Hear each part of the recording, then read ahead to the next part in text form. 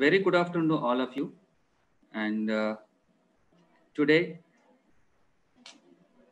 uh, we gathered on the occasion in association with the Teerthanker Mahaveer University and Teerthanker Mahaveer Dental College and Institution Innovation Council jointly organizing virtual CD program on recent innovations in dental imaging. So I welcome you all, our uh, principal sir and all the head, head of the departments and other delegates on this virtual CD program on recent innovations in dental imaging by Dr. Arti Chaudhary. Dr. Arti Chaudhary is a good friend of mine, more than two decades, and uh, she's passed out uh, MDS from KLE Belgaum and Karnataka. And she's a, presently as a joint director and CBCT consultant at Sampurna 3D Dental Imaging. And she's a clinical consultant, Department of Oral Oncology, SRJ CBCC Cancer Hospital Research Center, Indore.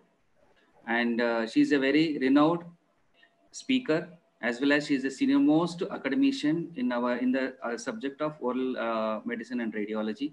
And she is a very active member and we work together as a executive members uh, during our uh, tenure in our association. So i welcome dr arti chaudhary for this. And uh, sir i welcome our principal sir to say a few words on this occasion change good, good afternoon good afternoon all of you so I would like to welcome Dr. Arti Chaudhary for this uh, wonderful uh, initiative of conducting this uh, webinar. And I hope all the participants are uh, really going to benefit from the talks that you are going to give on the innovative technologies and the techniques. So I wish the same and uh, all the best to all the participants. Thank you. Thank you very much. Okay. Thank you, sir. Thank you for kind words, sir. And uh, I over to Dr. Arti Chaudhary to kindly can start the session. Vaibhavji?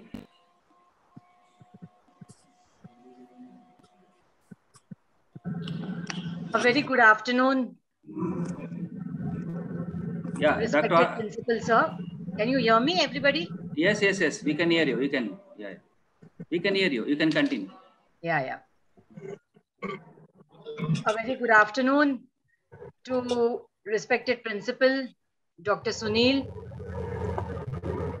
and all my dear colleagues from the Institute of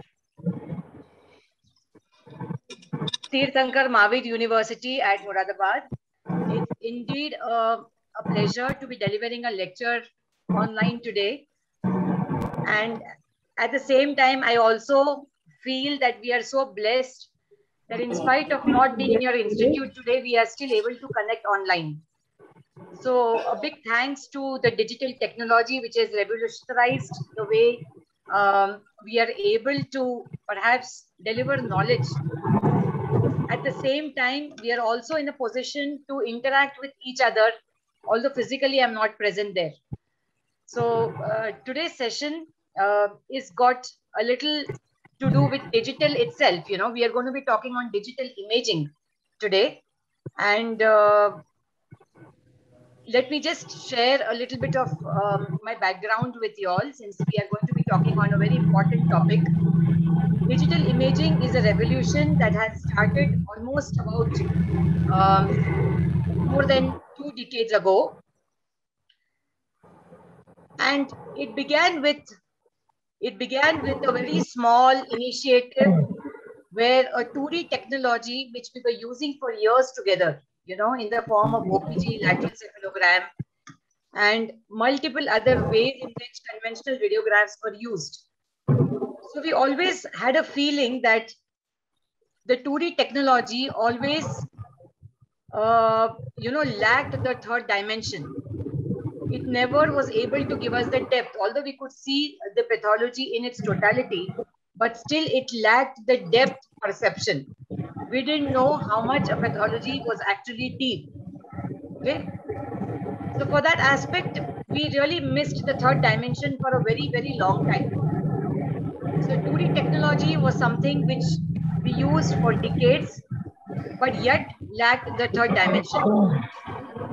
And the basic drawbacks with 2D technology, whether it was intraoral or extraoral imaging, like you can see on your screen.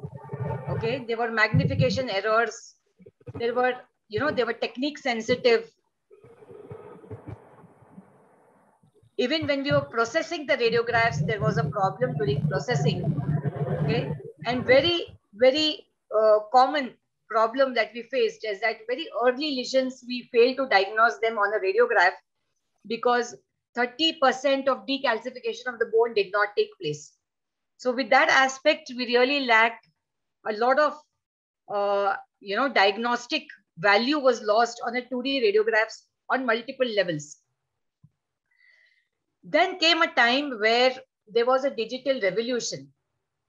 A digital revolution which began in the early 2001, 2002, uh, you know, years of uh, the decade where we saw that there was a gradual change in the aspect of digital technology. Everything was getting digitized. You know, whether it was our cell phones, whether it was our computer systems, whether it was the typewriters were getting digital into, you know, the, the printout format that we are having today. So there was a digital revolution which was having happening in every sector of various industries. So why not the health industry? And when it was the digital revolution were CT and MRI which were coming, the dental sector also saw a conventional radiograph being converted into digital technology. So we were having something known as the RVG system, which was invented more than two decades ago now. And this gives us, gave us a major benefit of showing the patient the images instantly on the screen. All the aspect of processing, you know, errors of processing were eliminated using the RVG system. With the RVG system getting more and more popularized, the OPG also started getting digital. And at the same time, we came across something known as the era of digital imaging. Okay, so that was the 21st century where almost everything in the health industry was visualized or imaged using the 3D technology. It began with the CT scan, then of course it went on to the MRI system, then the PET, the SPECT CT, the MRI, and of course now even the digital X-ray, the dental X-ray, and the CBCT. So this was the advancement which we are seeing today. The OPG machine also, instead of the conventional film, it is now replaced with a digital sensor. And the scan of just 13 seconds gives us beautiful images of the patient. So this is the beauty of the dental imaging system, and that is the CBCT. So how is one imaged using the 3D technology? You know, how is one image using a 3D system? So in the 3D technology, we have the X-ray source at one end and an array of sensors at the other end. And this array of sensors moves around the patient. It moves around the patient in a 360 degree rotation multiple times. So you have multiple axial slices of the patient being taken. In the same format, instead of the array of sensors, now we have something known as the flat panel detector. So you see, this is the technology which is used for CT scans. And for CBCT, we use the flat panel detector. And this flat panel detector receives the radiation in a conical beam. So this conical beam, it passes through the patient's area of interest and gets registered on the flat panel detector. And this rotation also goes around the patient. Okay, it goes around the patient in the 360 degrees format around. Either you take it in supine position or standing position, but yet the principle of working remains the same. So what you obtain is something known as the basis images because of multiple rotation of the X-ray source you get something known as the basis images.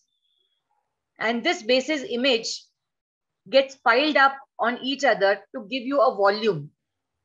This volume carries the entire information of the head and neck of the patient. Okay. So then comes the reconstruction. Okay. There is an algorithm with which the reconstruction of the image takes place.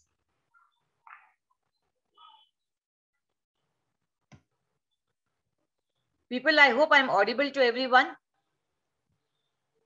Yeah, yeah, you are audible. You are audible. I'm audible. Yeah. Okay. Yes, yes, okay. yes. Kindly continue. All right. So this is the algorithm with which, okay, the reconstruction takes place. There's no much information required um, at a general level. You just remember that this is, you know, the Feldkamp, Davis and Kress is the is the algorithm with which reconstruction. So a digital information is converted into visual information using this algorithm. Then whenever the image is visible to us, okay, whenever the image is visible to us, we get it in three planes. One is the coronal plane, the second one is the sagittal plane and the axial plane. When you see the image in all the three planes, there is absolutely no chances of you missing out on the minutest pathology present in the jaws of the patient. Okay, so this is in correlation with the tooth. So suppose you have scanned this particular region, a small area which has been scanned. So you can see it three dimensionally. You can see it in the axial plane where you can see the pulp chambers, the pulp canals rather very clearly. Okay, all the pulp canals are very clearly visible to you. Then you can see the entire morphology of the pulp canal in the sagittal plane and the axial, which will give you individual pulp canal information. If you want to look at the mesial, then you can have a look at the mesial pulp canals, whether this is the buccal and this is the lingual. So all this information is available to you on a single scan. And the beauty of CBCT lies in the fact that you can see it on a single monitor. On the monitor, you can see all the three planes simultaneously. So you can visualize a structure three-dimensionally and then reach to your diagnosis. So unlike something known as a Denta scan, which was very, very popular a couple of years ago, where we took the image of the patient in the head and neck region on a CT scan machine and used a software known as a Denta scan for a dental reconstruction.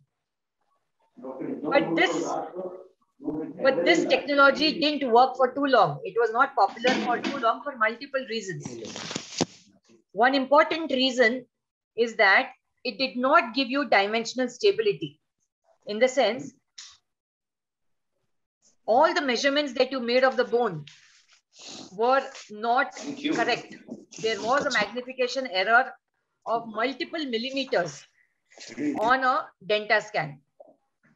And the patient was exposed to a lot of radiation similar to that of a CT scan. So for head and neck, why should you expose the patient to so much of radiation unnecessarily? So that is the reason the Denta scan technology was not too popular. It came, but it did not last for too long.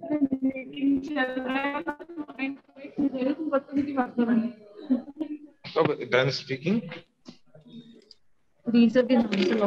Hello. I think there's some disturbance.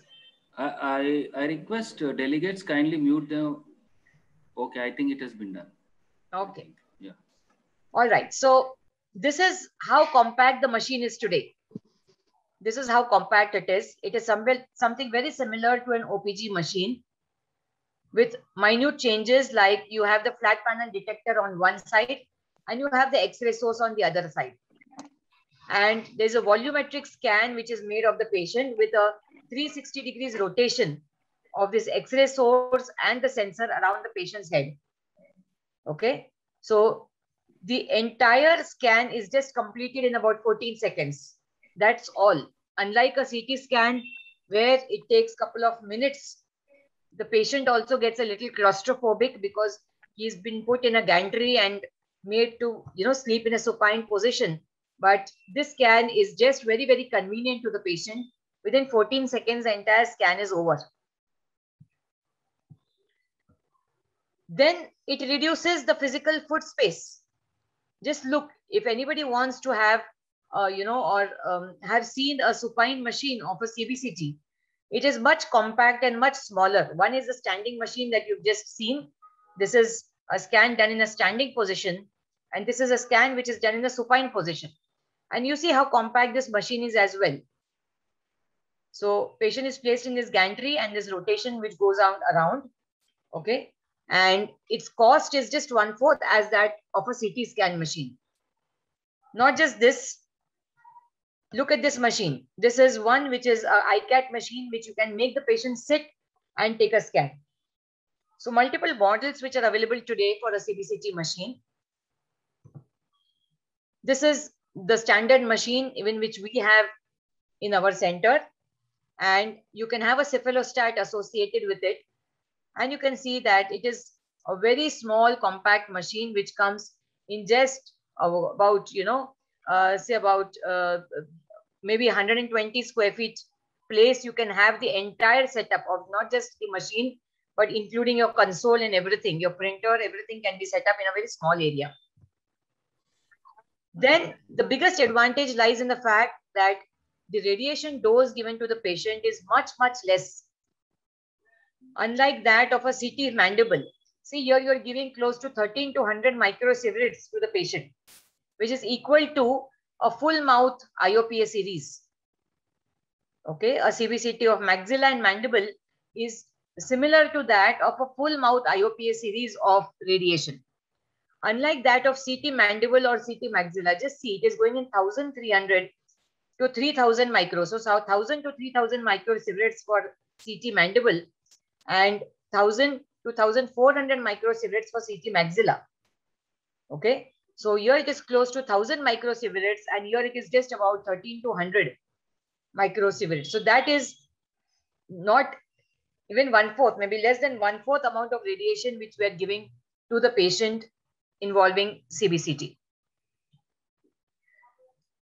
Then why did I say that the Denta scan failed? The Denta scan for the CT scan machines, you know, why did that fail? Because it was not dimensionally stable. But the beauty of CBCT lies in the fact that it is dimensionally stable. The basic unit okay, the size of a voxel, okay, they are isotropic voxels. Unlike the anisotropic voxels, which is the basic unit for CT scan. So in conventional CT, you will see that if the if the breadth and the depth are same, the length is not matching. So x is equal to y, but it is not equal to z. That is why it is called as anisotropic. Whereas in a cube, okay, you will see that x is equal to y is equal to z. So it is dimensionally stable in all sides. So that's why all measurements made on a CBCT are all dimensionally correct as compared to that made on a Denta scan or images of a CT scan. So you can rely upon any measurements that you make on a CBCT, like for implant planning or root canal length measurement, okay? The fracture site location. So all that location, you can well rely that you are doing the right measurements using the CBCT. So that's what it's is making this technology even more popular today.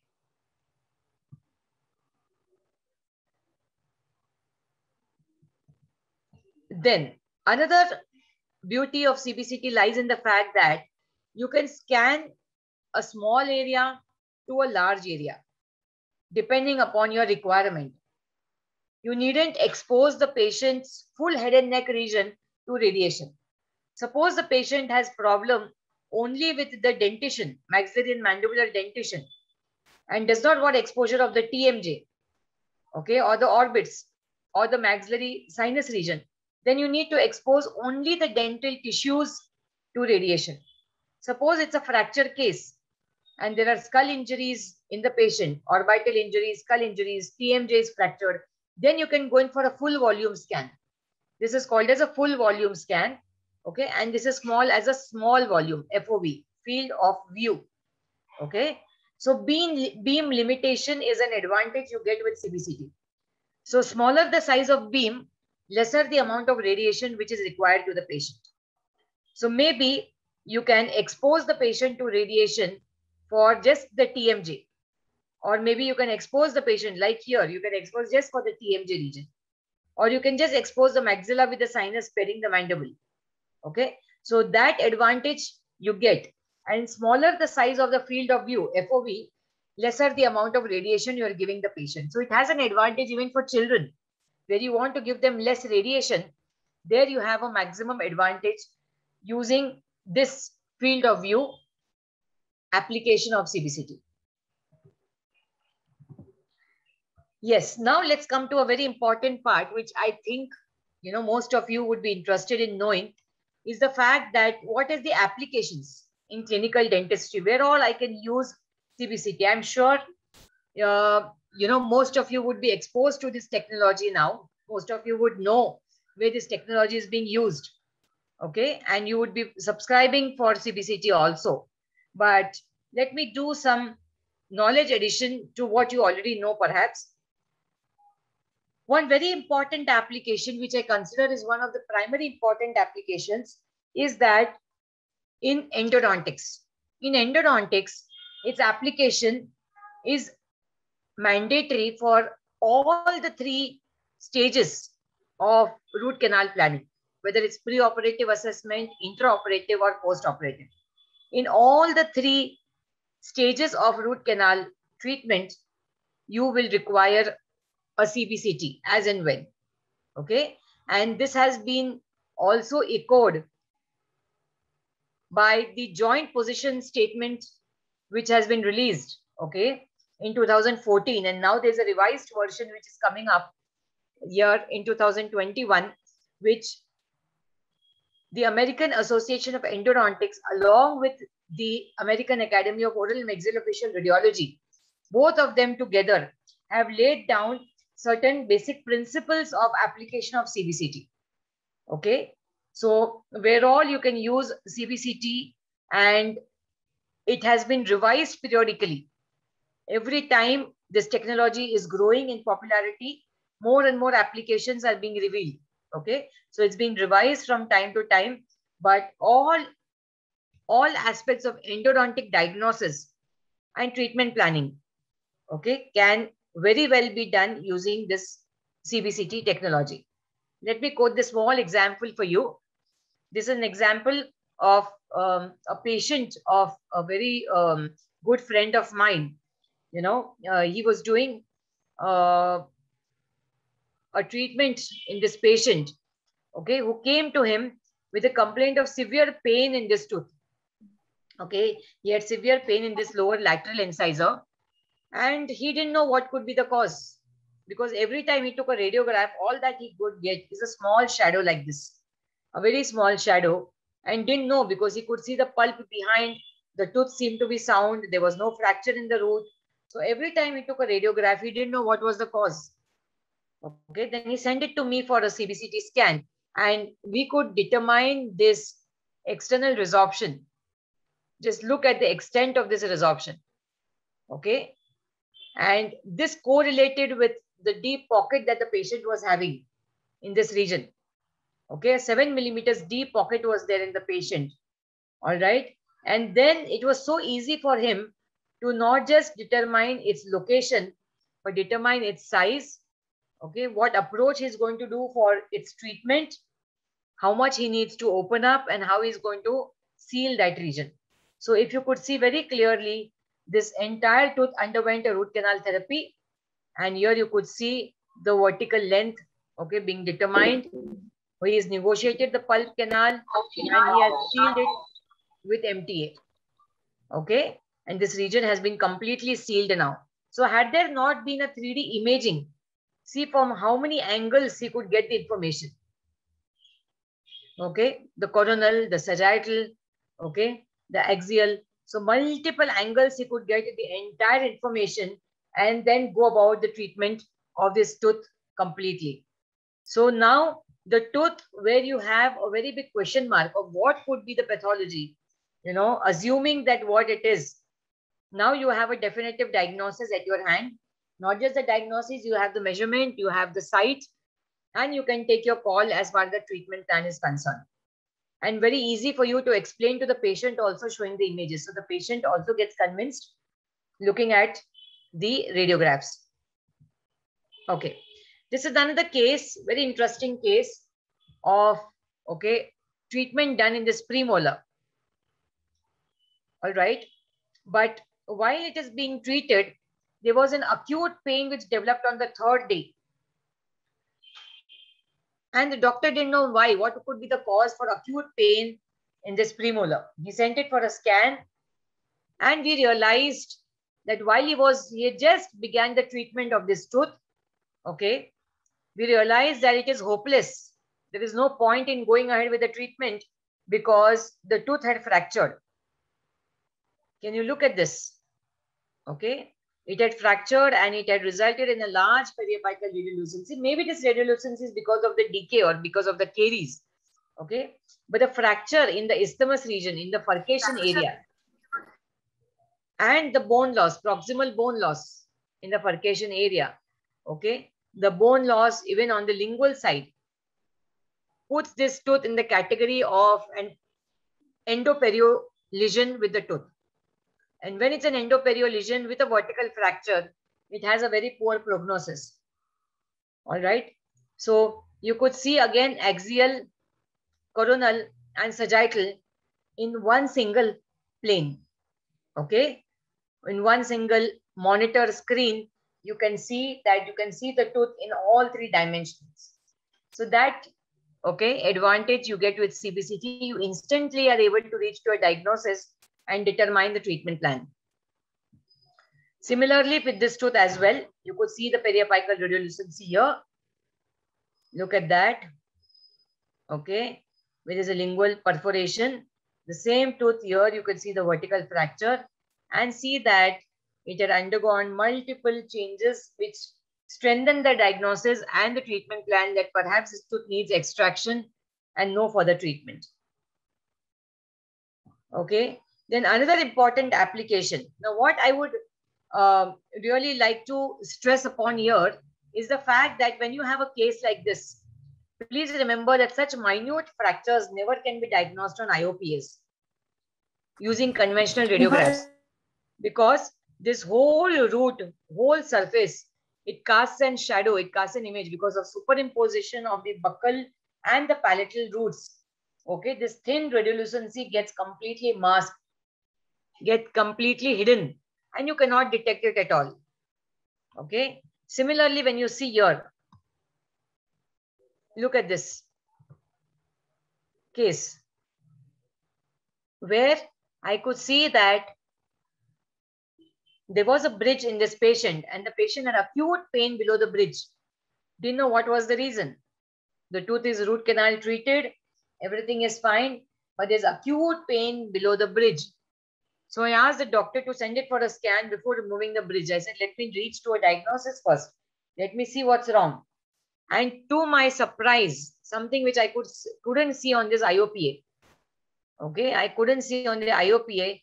We could catch on the CBCT is the fact that there was a vertical thin linear fracture, a vertical oblique fracture with this premolar. Just look at this. Such oblique fractures which are so very thin, hair-like. Okay, this hair like fractures, very thin fractures going obliquely cannot be detected on IOPS at all. That's why you missed it out here. But one important, one important point or takeaway point I'd like to give you here is whenever you have a lateral radiolucency developing, lateral radiolucency along one surface of the root only, where the tooth is not periodontally compromised, please remember that there, there are very high chances that there is a fracture involved. Okay, so I'm pointing at this arrow where it is pointing those lateral radiolucency, unlike this which has got a circumscribed radiolucency around the tooth. But here you have a lateral radiolucency, okay, which is around just one segment of the tooth, the mesial segment. And that when I focused that area, I could see an oblique fracture. And that was the reason why this patient had acute pain with this premolar, which was not at all detected on the IOPA. Okay. So wherever IOPA fails, CBCT succeeds. Where two-dimensional radiographs fail, three-dimensional imaging succeeds. Okay. And that is one advantage we are today getting with CBCT. And we should all feel very proud of this technology, which is serving to almost all clinical branches today of dentistry. All clinical branches are depending upon this one imaging modality to reach to their diagnosis. I'll show you some more cases further. Like you have an endodontic evaluation.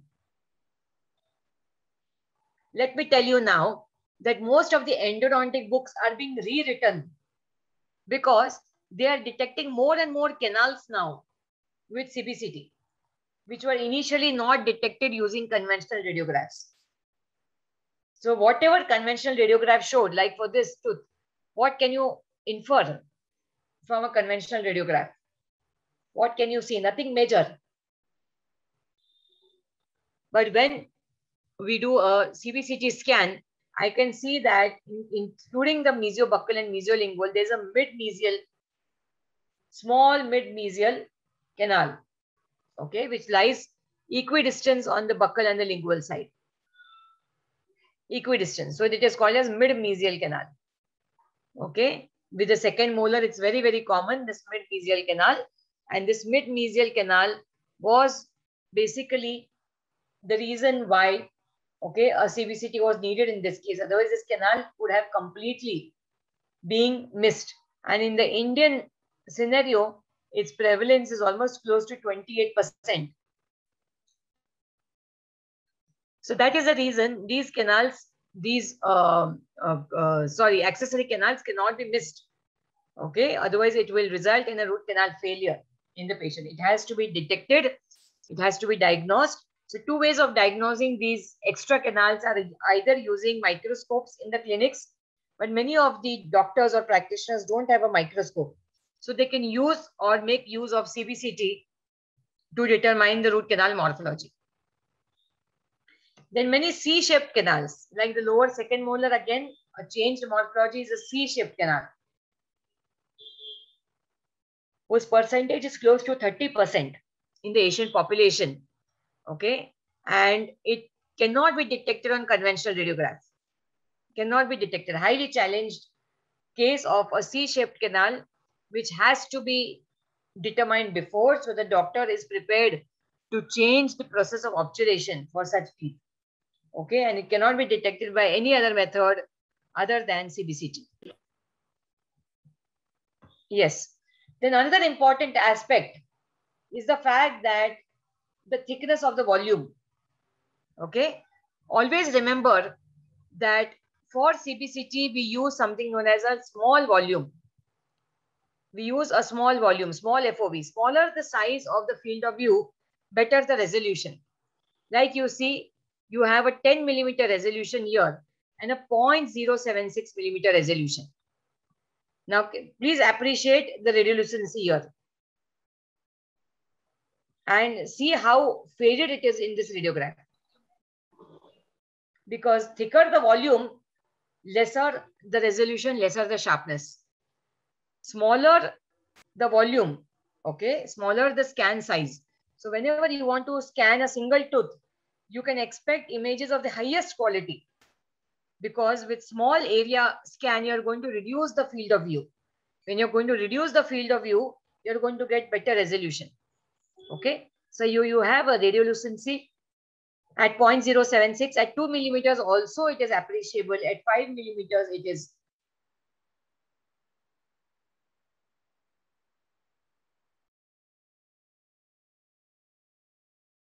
very minute, it's non-relevant. Whereas it is very, very relevant when you're looking at 0.076 millimeters. So always diagnosis and your reporting should be done when you are cutting the volume to 0.076 or for that matter, even to about 2 millimeters. If you can cut, you can equally see the pathology very clearly. Then when you have for third molar disimpactions, okay, from endo, now I'm coming to oral surgery. What is its application? I'm sure many of you would have prescribed for a CBCT scan when you see that there is a, okay, the literature also says that whenever you have a deep third molar impaction, where the roots are either curved or in close approximation to the inferior alveolar nerve canal, you must use a CBCT. Like you can see in this case, okay, you can see that both the third molars are not just horizontally impacted, but they have curved roots, okay, like a hockey stick shape, okay, on one side. Now, when I take a CBCT scan, can you imagine the proximity of the third molar to the infraalveolar nerve canal? Just look at its approximation. There is no way that you could remove this tooth without slight, maybe touch or damage to the infraalveolar nerve. But if you take the scan beforehand, and if you see this close approximation, you can make basic changes in your treatment protocol in sectioning the tooth, taking out the roots one by one. You can do some sort of a treatment plan changes when you know, and you can most importantly inform the patient beforehand that look, you may develop numbness after the disimpaction process, but it will heal in certain days because I'm going to take all the precautions while I'm taking out the tooth. So if you're ready with the right procedure, the patient is also equally calm because he knows that he's in the right hands. So please don't shy away from prescribing for your patient for a CBCT scan whenever you see a deep third molar disimpaction. I don't say that this is required for every third molar impaction. No. Something which is superficial, having straight roots, not in close approximation to the inferior nerve canal, you can just take an IOP or an OPG and go ahead. But when you see a deep impaction, similarly goes even for endo. Whenever you see a complicated root canal, you can advise a CBCT. So be very selective when you're using CBCT. Don't be very rational, irrational in using this technology. Every patient should be sent for a CBCT. No, not required. As and when it is required. Okay. Like one more case, there was an eruption sequestrum here. Eruption sequestrum, which was blocking the eruption of this third molar.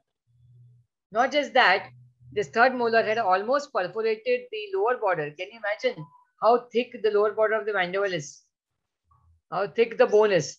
In spite of that, this little tooth here had perforated the lower border of the mandible.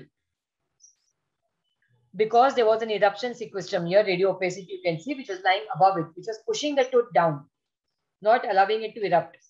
And to my surprise, I could see that in between the two roots, in between the mesial and the distal root, I could see the infraalveolar nerve canal progressing further. So between the two roots, it was located. So I had to take all the precautions while taking out this tooth and I had to section it and take it out one by one. So that protocol you will only follow if you have a scan in your hand. So reliability of CBCT and other radiographic methods for third molars, it is said that CBCT examination for pre-operative radiographic evaluation of complicated impacted lower third molars, only complicated impacted third molars, which you feel that you're going to have a complication, you can do using CBCT. Another important case, this is an OPG of, again, another young boy, okay, another young boy who came to us with severe pain, severe pain in the jaw. Madam, I don't know where is the pain. But this whole area was painful. He didn't know. And uh, OPG, I also could not say too much. So whenever there is unexplained pain of unknown origin, okay, all that history he had is that I ate something hard. I ate something hard and after that I had this acute pain. But to my surprise, what I could see was this fracture. Can you see this? Irregular, uneven fracture behind the third molar. Okay, behind the third molar. So these kind of fractures are generally missed out using OPG. Okay, this is the fracture site and a very clear cut fracture which was located again it was an oblique fracture so there is no way that you could see on a conventional radiograph this kind of a fracture it is not displaced but it is not healed as well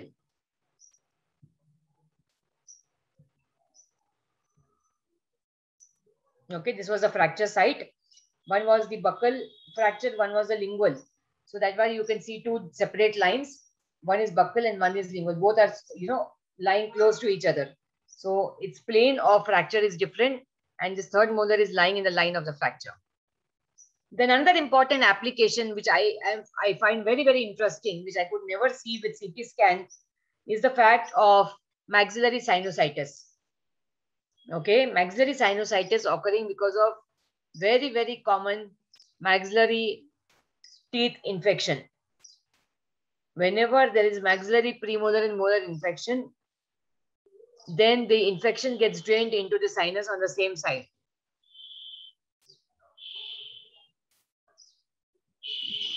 Okay, like for example, this is the culprit tooth here.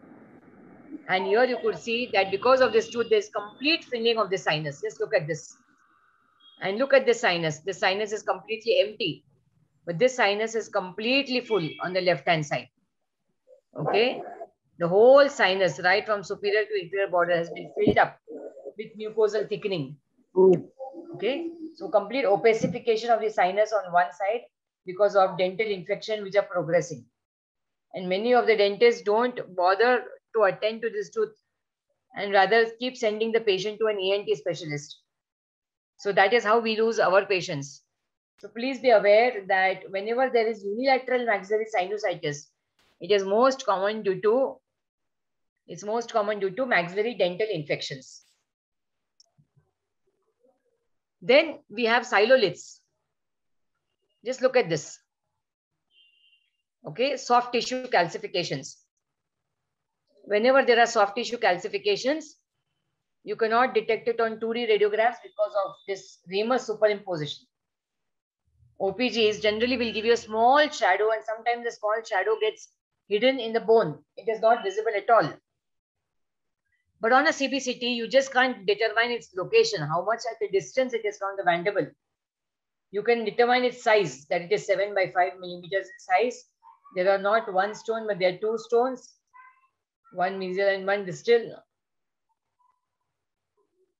And its location, that is just below the third molar.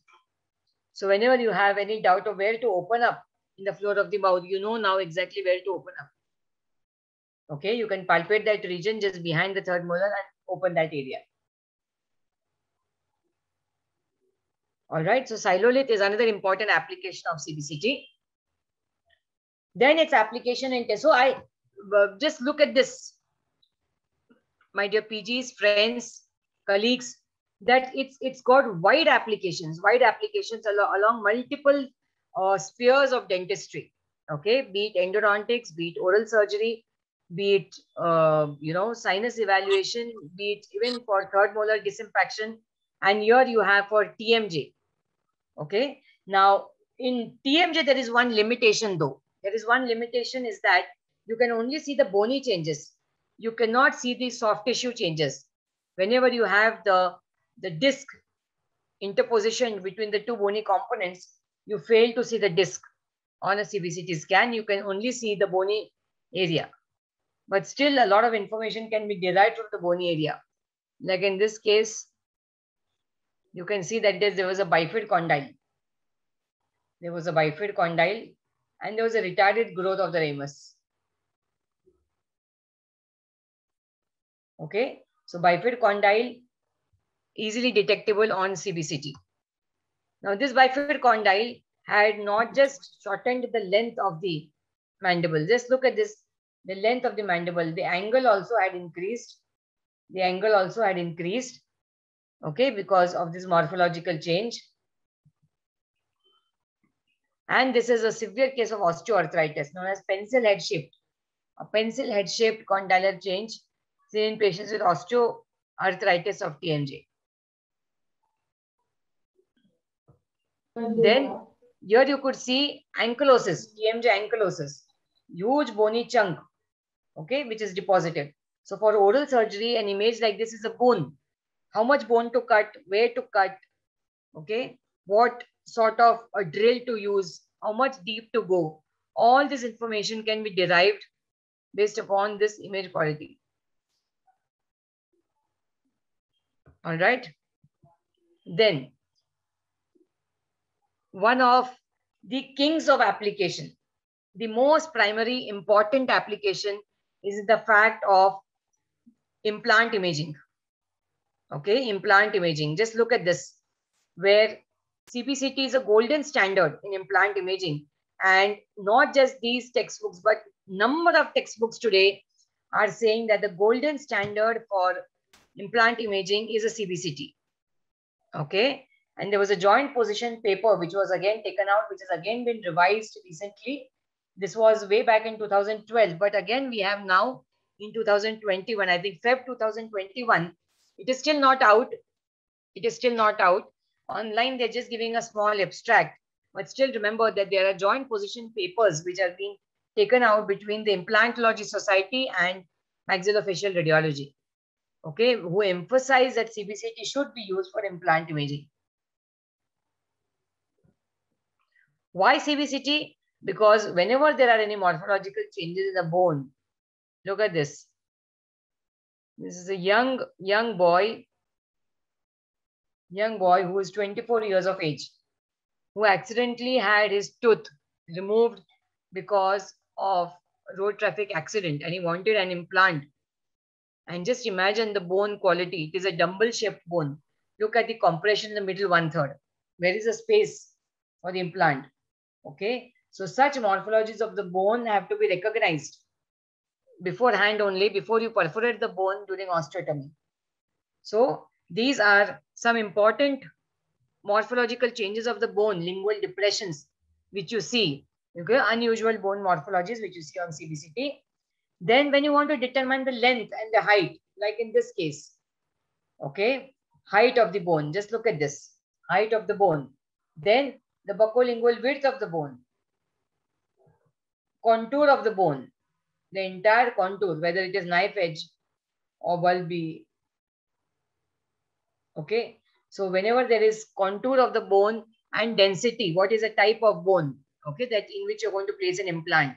And of course, when you want to see important anatomical structures like infraalveolar nerve canal, all this information, height, width, infraalveolar nerve canal, this entire information can be obtained on a CBCT. Just look at this image. Okay, here you can determine the entire height. Okay, that it is 22 mm. It's the width of the bone, all right, and the density. This is a beautiful bone having more cortical component and less medullary component. Okay, more cortical, cortical and less medullary component. It lies in the D2 variety. If you see the Misch classification, it comes in the D2 variety of bone or maybe even D1 variety of bone. Where there is plenty of bone in terms of its density, but the the bone is quite narrow. It is only about six millimeters wide or seven millimeters wide. So one has to be very, very careful in selecting the implant and determining the depth. Okay. Yes. So in all aspects, the CBCT ranks higher as compared to uh, OPG. Okay, panoramic radiograph as compared to that, CBCT ranks high in every sector, in every sector, whether it is height evaluation, width evaluation, length evaluation, okay, anatomical location, bone quality, all this information, you see that OPG fails, but CBCT succeeds to a great extent in giving you all the relevant information of the area of interest. Then another important application, okay, I'm not going to elaborate too much on this because orthodontic application in itself is a separate lecture. So I'm just going to touch this one slide and leave it here today. There CBCT is, you know, an important aspect where we determine all aspects of bone pathologies. Okay. In terms of, you know, the tooth location, the location of the tooth, the location of, okay, maybe if it's, if it's a, it's a mixed dentition, okay. And there has to be an evaluation of the inclination of the tooth that it's going to take, its position in the jaw. So all that evaluation can be done using CBCT. Okay, various softwares are available. On-demand software is available. Anatomage software. So various softwares are available which have, you know, specific application for something like orthodontics, Dolphin is a very good software. So there are various softwares which can be used today and all relevant information and measurements for impacted third molars, impacted canines, okay, or positioning of the teeth can be taken out using CBCT. So I think with, with this, we are almost, okay, uh, nearing the end of the lecture. But at this time, I'd like to emphasize some important aspects that this technology is here to stay. It's here to stay for a very long time.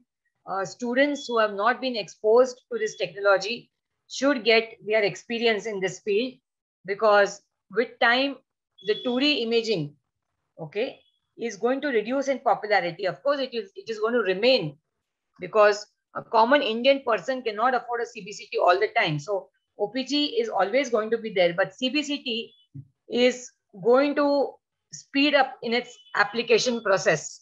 Okay, its applications are just increasing day by day. And one single record, if a patient has and he maintains the CD, he can use that record multiple times to do multiple treatment plans. Okay, so that one advantage a person gets with CBCT that you can do a scan once and use that CD maybe at multiple dentists or multiple specialities where you want to get treatments done and you don't have to get the scan done all the time. So that one advantage you get with CBCT. Yes, now I'd also like to emphasize that, yes, at this point, let me also help you with, um, you know, uh, telling you that, uh, you know, we conduct online courses for students who are interested in knowing more about this technology. You can contact with us. I'll, I'll share my contact details. If you want more information of how to use this imaging technology, where to use it, if you have any uh, specific, uh, you know, purpose of knowing its application, like in endodontics or specifically in orthodontics, then regular courses, we one we are planning to take in the month of February now. So if anybody is interested, you can always get back in touch with us. And you can see more of, uh, you know, our information, not just related to imaging, but also related to the oral cavity and the oral medicine aspect of dentistry in our YouTube channel called as Mouth Matters.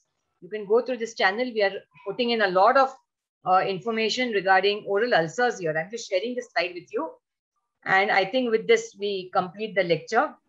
And this is the email ID and the contact details if anybody would be interested in knowing more about this technology. Thank you. Uh, thank you, Dr. Arti. It was a wonderful and excellent informative lecture and uh, hope all the delegates who are there and faculty members must be benefited about this. And, uh, any questions from anyone? Any questions from anyone? You can uh, raise hand and you can straight away you can ask question to the speaker.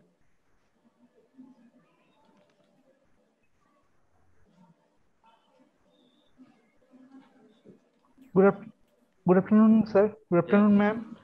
Good afternoon. Uh, uh, ma'am, myself is Dr. Arpan Manna. Uh, I just want to ask one question that uh, as a clinician, can we diagnose the bone quality through CBCT properly? Uh, Dr. Arpan, that's a very good question. See, bone quality in terms, I mean, uh, for what I can understand, you mean the bone density, right? Yes, ma'am. Yes. Bone density can be uh, determined not in terms of Hounsfield value. Okay. You can't determine Hounsfield value of the bone density like you can do on CT scan because it's a volumetric scan.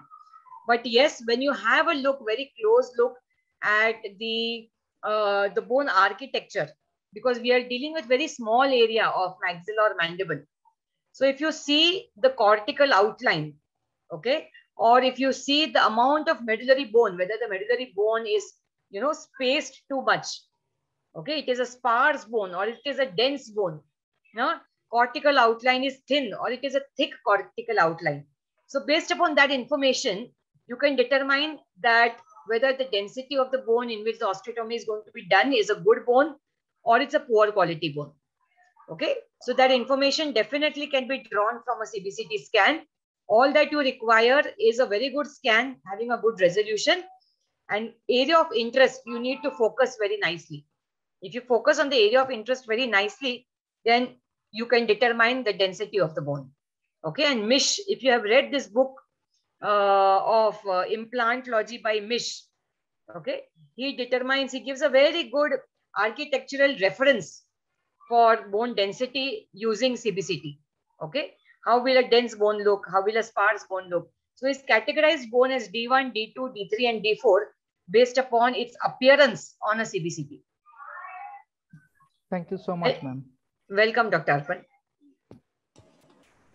Yeah. Uh, anyone else? Sir, I would like to. Yeah. Yes, Dr. Larry. Yeah.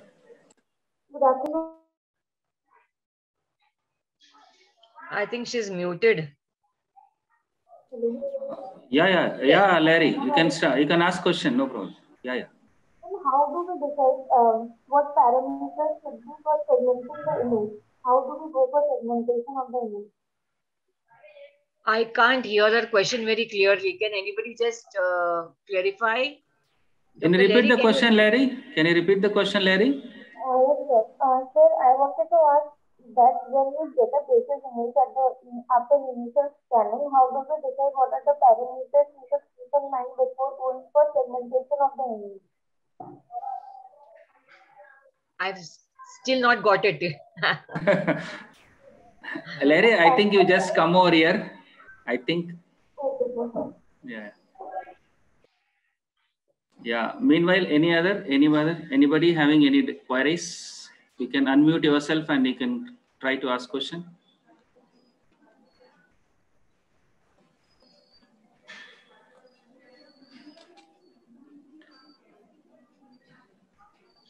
Yes. Yeah. What was the question? Question? Yeah, you can speak from here. Hello. Yeah. Am I audible? yes, yes, you are. Ma'am, I wanted to ask that uh, after we get the basis image at uh, initially after the scan, how do we decide what parameters to keep in mind before going for segmentation of the image? Uh, Dr. Larry, uh, we don't have to use too much of our knowledge there okay, because this whole process is done automatically. okay, Okay, no parameters. You, you needn't set any parameters for reconstruction. The computer, the server computer does, does it on its own. Okay, Okay, all that you need to keep in mind is the scanning area, the field of view that you want to scan. Once you have chosen the field of view, okay, all the other parameters are set by the CBCT machine itself. okay, Okay, so once the scanning is, yeah, once the scanning is done, the whole digital raw data, we call it as a raw data, it is transferred onto the computer, the server computer. Okay, and I, I showed you an algorithm, right? Yes, yes, Yes, that algorithm, by using that algorithm, the calculations are done automatically and you can see the image directly on the screen. okay, ma'am. Thank you so much. Okay, yeah. Ma'am, I had another question uh, regarding bifid condyle. So, Yes. what are the characteristic features that we can see on CBCT in a bifid condyle when we compare it to OPG? When you compare it to OPG, see a bifid condyle will appear much smaller in size as compared to a, a, regular condyle. Yeah. Okay, because uh, the condyle gets split in the center. Yes. So you, if, if you were going to see it on an OPG, you can see something like uh, the uh, a hypoplastic condyle. You can see a very small condyle on an OPG Hmm. because maybe the bifid component is hiding behind, and you may not be able to see it on a 2D X-ray. Okay, so clinically you may see that the patient has slightly shifted mandible. He's got slight deviation of the jaw. Okay, Okay. one side of the face may appear a little smaller, a micrognathic mandible unilaterally. Slight, you- yeah, slight uh, shortening of the ramus, shortening of the height of, you know, your condylar neck. All that would be visible clinically. And radiographically, you will just see, see a small hypoplastic condyle. But when you take a CBCT scan, you will realize that it is not a hypoplastic condyle, but it is actually a bifid condyle. Okay. Okay. So this bifid condyle in itself is just an anatomical variation. If the patient is okay with it, it requires no major treatment. Okay, ma'am. Okay. But sometimes it does create TMJ pains. in the patient, it creates because the disc is only one, although the condyles are two, but there is only one disc, isn't it? Yeah. So one part of the condyle is touching the glenoid fossa directly. Okay. So there could be arthritis sort of, you know, issues with the patient. He could develop TMJ pain. And many of the bifid condyles, you know, are diagnosed accidentally because the patients come to us with TMJ pains. Hmm. Yes, ma'am. You know, yeah, they come with TMJ pains to us. And only when we, uh, you know, examine clinically, uh, note down all the clinical features, then go about taking the radiograph and then the CBCT, we realize that it is actually a bifid condyle. So either you can explain to the patient and make him relaxed. If he is wanting a surgical correction, then it may be needed sometimes. Yeah. Thank you so much, ma'am. Most welcome. Yeah, thank you. Uh, anyone else? Anyone else have any questions, any queries? Good afternoon, ma'am. Yeah, good afternoon. Good afternoon, Dr. Anushka. Uh, ma'am, I just wanted to ask, uh, what are the disadva- uh, what are the advantages of uh, CBCT over a CT scan? Advantages. Yes, ma'am. I think I just covered it in the presentation, Anushka. But, uh, but do you have anything specific in mind while asking this question, or generally you're asking? No, no, ma'am. In relation to uh, the diagnosis of oral examination or oral cavity, what exactly are the advantages of CBCT? Because it is also a three-dimensional scan. CT is also C- uh, three-dimensional scan. So why, uh, matlab, why do we prefer CBCT as over a CT scan? Anushka, uh, uh, see, let me tell you that uh, when the CT scan machine came, okay, uh, when the CT came, it basically came in for medical application. Okay, it, it came in for application in the medical field. Um, they struggled to put in a software for the dental application, okay, which I, I just showed you, uh, known as a Denta scan. That okay, let us even scan the head and neck area uh, for the dental application. I hope uh, my uh, there is no noise in my background. No, Am ma'am. Yes, ma'am. Yes, ma'am. No, no, no, no, no, no. Yeah. So this they gave something known as a Denta scan. Okay, with the Denta scan software, we can use it in head and neck region. All right, but it came in with a lot of disadvantages for us. Disadvantages and aspect that number one, we were exposing the patient to too much of radiation in the head and neck, which was not needed. Okay, which was not needed because the jaws per se, maxilla and mandible is 90% bone and 10% soft tissue. Okay, your gingiva is a very small part of it's it's basically the bone and the dental tissues, which which sums up the entire dental hard tissues, isn't it? So we required an imaging modality which could reduce the radiation dose to the patient, which could give us dimensionally more accurate images, more sharpened images, okay, which a Denta scan was not doing. All right. And at the same time, um, every patient, if you advise for a CT scan for the head and neck, all right, you are exposing him to almost, you know, 10 times the radiation, 10 times more radiation. Diagnostic value is lost. For implant analysis, you cannot do any measurements of the bone. You cannot determine any information of the pulp chamber or the pulp canal. Okay. So multiple disadvantages of a CT scan as compared to CBCT. But yes, one aspect where CT ranks higher is soft tissue resolution. We don't get soft tissue information on CBCT. And that's why application of CBCT does not work well for cancers, oral cancers. Okay. In oral cancers, we need to see how much of soft tissue involvement is there. Suppose there is malignancy of the alveolus along with the cheek mucosa. So we cannot determine how much of infiltration it has taken place into the lymph nodes, into the cheek mucosa. All that information cannot be drawn with a CBCT. Okay. So soft tissue resolution, we don't get on CBCT, but in all the other aspects of diagnosis, okay, including the uh, radiation dose and including the cost, CBCT is much superior as compared to CT scan. Okay, thank you so much, ma'am. Welcome, Anushka. Thank you. Anyone else? Anybody? Any queries? they can unmute themselves and they can uh, ask questions. Yeah, I think uh, that's a wonderful lecture once again, Dr. Arti, and thank you for your uh, support and your, you are spared lot of time for us and uh, explained about the various clinical applications, particularly about the various fields, and you are shown of the many good cases also. I think definitely all the faculty and the students might be benefited about such cases and their importance in the various specialties. Thank you so much. Thank you once again. And thank you. Uh, I thank my faculty members and BYJU'S students who helped me in arranging this and the technical team also in arranging such a uh, successful online CD program. Thank you so much. I once again thank you from the uh, department as well as our uh, Teerthanker family. I thank you for your support and you have been spared time and accepted my invitation and to be a uh, speaker for this program. Thank you so much. thank much. You, Sunil. Thank you. Thank, you. It was a pleasure. In fact, Yeah. it was a pleasure meeting you online and meeting Yeah, my yeah, meeting all the students and faculty members of the yeah. Dental College. Yeah. If anybody has any query and want to know more about this technology, they can always get back in uh, touch anytime. Okay. Thank you so much. Thank you so much. Thank you, Dr. Sunil. Thank you so much. I thank you all once again, all the faculty members and the students for supporting me. Thank you so much. Thank you.